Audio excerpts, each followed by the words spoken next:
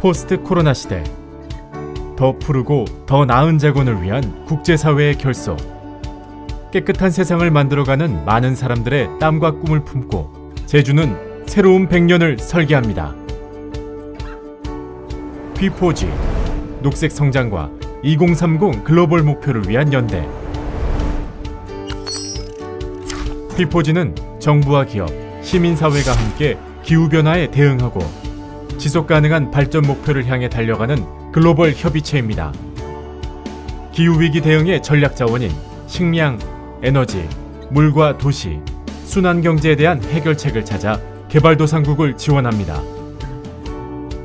사람과 자연이 공존하는 청정 제주는 기후위기를 극복하고 탄소 중립을 실현하는 여정에 누구보다도 앞서 있습니다. 피포지는 지속 가능한 발전에 기여하는 혁신적인 민관 협력 사업에 올해 피포지 최우수 파트너십 상을 줍니다. 제주도는 26차 유엔 기후변화 협약 당사국 총회에서 정부 민간 협의체 에너지 분야 최우수 파트너십을 수상했습니다. 최종 선정된 파트너십과 사업은 다양한 채널을 통해 널리 알려 인지도를 높이도록 지원하고 있습니다. 청정자연과 첨단 녹색 기술, 친환경 일상이 조화를 이루는 그린 선도도시 제주.